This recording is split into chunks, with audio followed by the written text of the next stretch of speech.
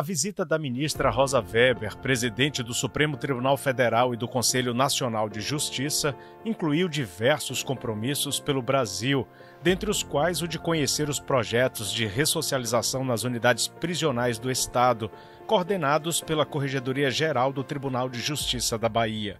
O corregedor-geral, desembargador José Edivaldo Rocha Rotondano, fez questão de apresentar algumas ações bem-sucedidas e resultados expressivos no conjunto penal de Mata Escura, em Salvador. A cerimônia de casamento coletivo, promovida pelo projeto Amor Fonte Transformadora do Destino, reuniu alguns internos que resolveram formar novos laços de família diante da presença da ministra e demais autoridades. Patrick e Ana Clara realizaram um sonho. Enquanto a vida, existe esperança. É uma realização de um sonho, né?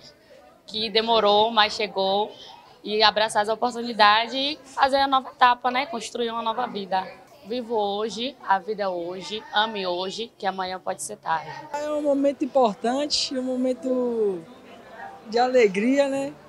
É um momento tão importante de se casar, minha primeira vez.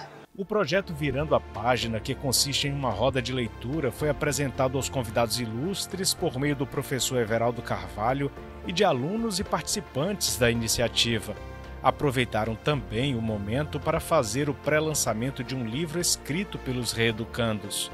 A obra lida e discutida foi Capitães de Areia, escolha da ministra que teve contato com o trabalho do autor Jorge Amado aos 12 anos de idade e disse durante o encontro que se emocionou com as percepções relatadas pelo grupo. A roda de leitura representa muito para nós, porque além de nós ter o conhecimento, que é uma coisa que não consegue tirar de nós, que nós pode ter sido privado da liberdade, mas no nosso conhecimento nós nunca vai perder.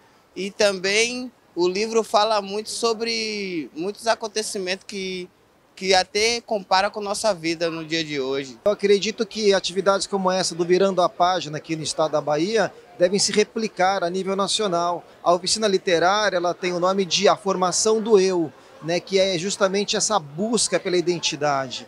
Então, o resultado maior da, da, da oficina é justamente dar poder de escolha através da escuta do si para si mesmo. Né? A ideia é que a gente possa levar isso a nível nacional que transformem políticas públicas e que a gente possa, com isso, reinserir essas pessoas que algo falhou em suas vidas na sociedade. Houve também a entrega de honrarias à ilustre visitante pelo desembargador Rotondano, a medalha Adolfo Leitão Guerra, instituída no âmbito da Corregedoria Geral da Justiça, e a medalha Décio Antônio Erpen, que faz parte do Colégio de Corregedores Gerais dos Tribunais de Justiça do Brasil.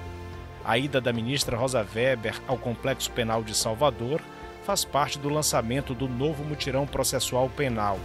O evento, que acontece de forma simultânea em todo o país, objetiva revisar mais de 100 mil processos entre julho e agosto de 2023.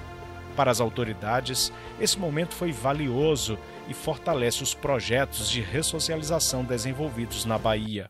Eu acho que o projeto ganhou espaço e hoje chegou aos ouvidos da ministra Rosa Weber, que está vindo testemunhar exatamente isso. São ações afirmativas, ações que devam, devam ser desenvolvidas para a sociedade. Então é o Poder Judiciário buscando estar junto do povo, estar levando ao povo atitudes e ações benéficas que possam melhorar a vida desses cidadãos. E além do mais, nós estamos fazendo com isso cumprir preceitos constitucionais, quer da moradia, quer da dignidade da pessoa, do ser humano.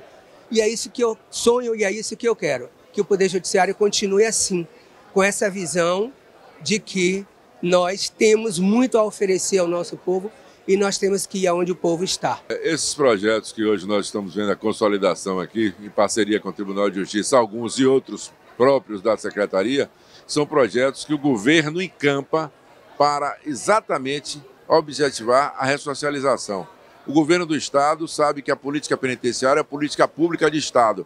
Entre mentes, o governador tem como norte maior a ressocialização. A visita da ministra é emblemática para o momento que nós estamos passando a ressocialização no estado da Bahia e no Brasil como um todo. A Capoeira em Movimento Bahia fez uma apresentação belíssima do coletivo de capoeiristas, com a participação de agentes penais, a fim de valorizar essa arte ancestral e falar também de inclusão. Nosso desafio é, fazer com que a sociedade veja a capoeira como elemento de identidade cultural e também consiga ter medidas alternativas para poder inserir as pessoas dentro do, do, da sociedade. E a capoeira nada mais é que uma ferramenta não só pedagógica, cultural, mas também de responsabilização. Então, nesse sentido, a nossa presença aqui hoje é, também se soma a esse esforço é, do, da justiça, né?